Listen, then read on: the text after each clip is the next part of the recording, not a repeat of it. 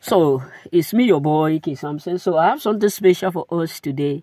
You know, it's never inten- their intention to see us rise again.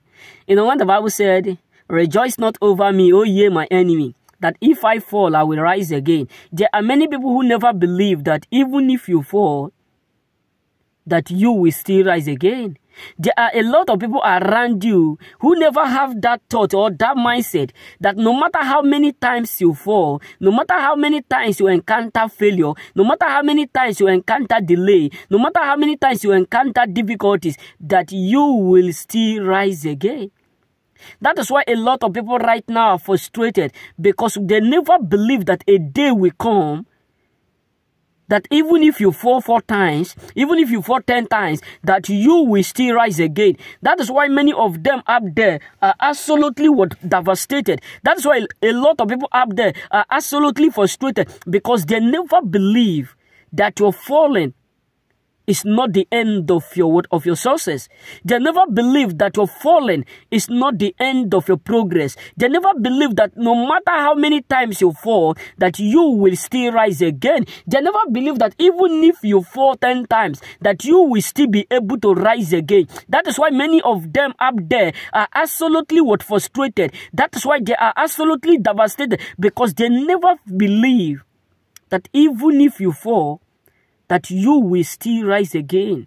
Even if you fail, you will still go to that point where God destined you to be. And that is why majority and many people up there are absolutely what devastated. That is why a lot of people up there are hurt because they never believe that your falling is not the end of your joining. Yes, all their thought is that ah, you are going to fail. That uh, as long as you have fall, that you will never be able to rise again. As long as you have fall, you will never be able to rise again. Many of them, their thought was that no matter what you do, no matter what you do, as long as you have lost, you will never be able to restore. But they, they, they forget the fact that the Bible said in the book of Joel 2.25 that you will restore the years that the canker worms and caterpillar have destroyed. That's why the Bible said, rejoice not over me, oh ye my enemies, that if I fall, I will rise again. Many of them thought was that no matter how how powerful or what you may do, that the years that you have lost will never be restored. That's why many of them now are secretly was sick.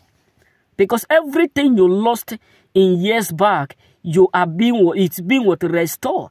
It's being what revised. That's why many people are frustrated. Yes because they betrayed you but yet you are still on the nail. They they conceive you but yet you are still on the nail. Yes they they they, they, they decide to to make face accusation against you but you are still on the line. Yes many of them thought that that betrayed will take you away that that frustration will take you away that that disappointment will take you away that that rejection will take you away. That is all they thought. That is all they believe. But many of them now are frustrated because what they cost, what they did behind you was not able to destroy you, was not able to frustrate you. Yes, the, the weapons of our weapons are not carnal, but my true God, pulling down the strongholds, casting down imagination, bringing into captivities every tongue to the obedience of Christ. Yes, all their tongues are now to the obedience of Christ because they never believe that the Lord will restore all your years. They never believe that the lion of the tribes of Judah will restore all the years that you have what that you have lost in your life. The all their thought was that no matter what you do, you will never be able to restore your years.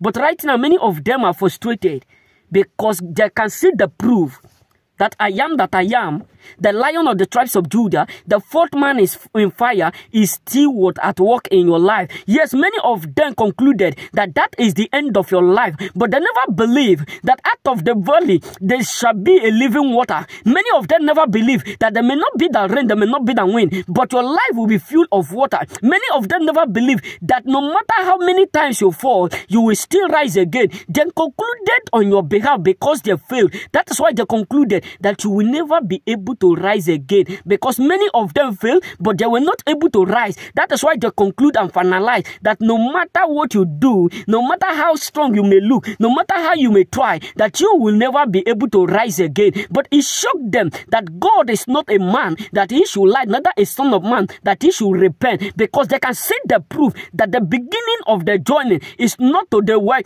to the strong, neither is the is everything to the what to the wise, but it's of God who giveth understanding and wisdom. That's why the Bible says, In all your getting, get wisdom. Many of them are walking by their strength, by their side, but not by the will of God. That's why they are disappointed and divided and frustrated because God keep mapping you like an ego, despite of their hating. That's why many of them hate you so much because no matter what they do, no matter what they thought, no matter their evil plot towards you, you are still on the line.